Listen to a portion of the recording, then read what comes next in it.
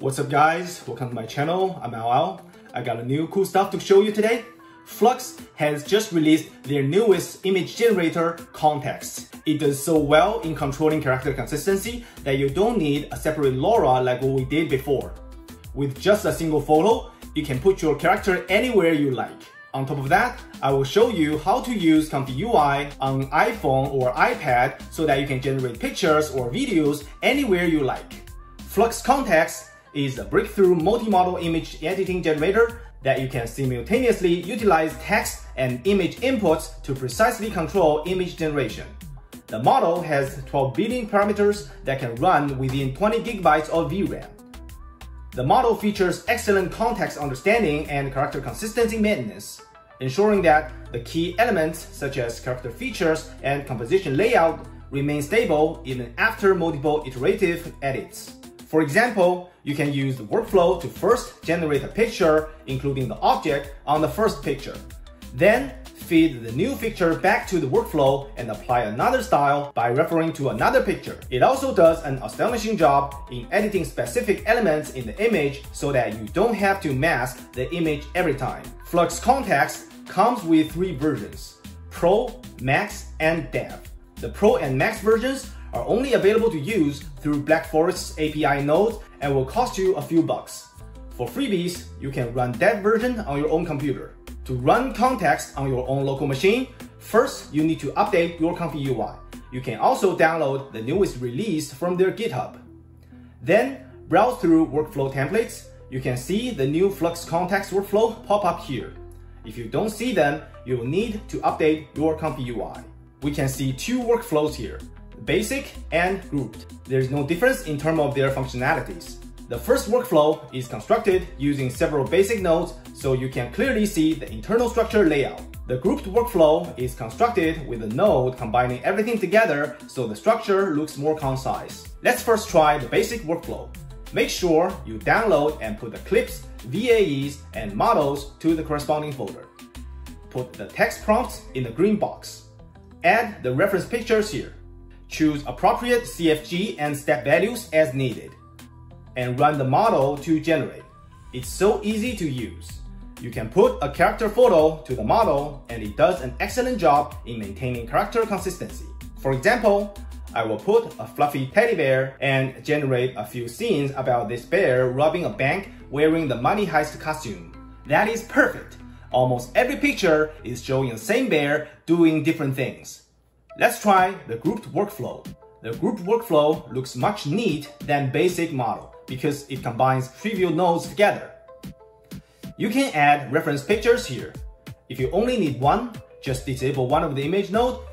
As we can see that there are two Kontext image edit nodes, it allows us to do complex texting by stacking multiple Kontext layer one by one. I will try combining the two subjects from original pictures to one picture, and they are hugging each other. The result is amazing. We can also stack more layers to add more features on the picture after the combination.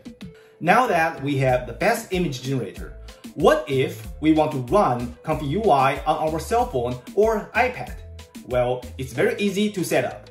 Since Comfy UI is running as a local service, you can access Comfy UI through a browser. Theoretically, you can access this server on any device that can run a browser.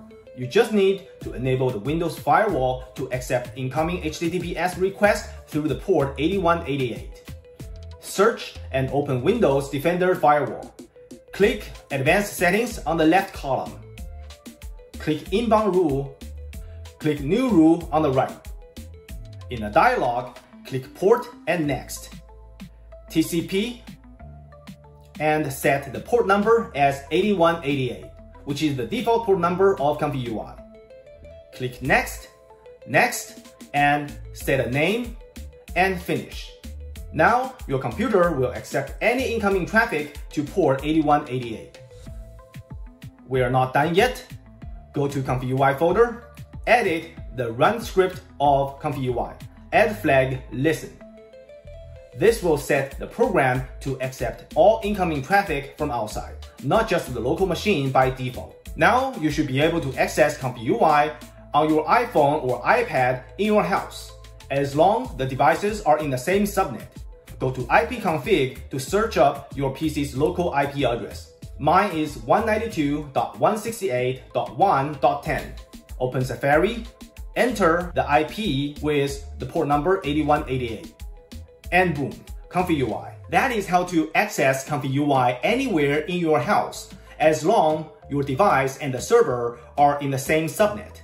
But what if we want to access our server anywhere on the earth? Well, it's also possible to do that. To make it available anywhere on earth with internet, you will need to set up Cloudflare. First, register a Cloudflare account. Then, download Cloudflare to your computer and install.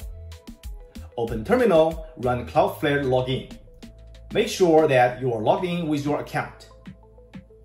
Run command Cloudflare tunnel with the flag of the URL that directs to your localhost service of Comfy UI. After successful connection, you will see a public URL like this. Now, you can access your Comfy UI anywhere on Earth with internet, on any device. That is how to use Flux Kontext and how to use Comfy UI on your cell phone. I hope you guys like it. If you find it helpful, please consider like the video and subscribe to my channel. I got more cool stuff coming every week. I see you guys next time.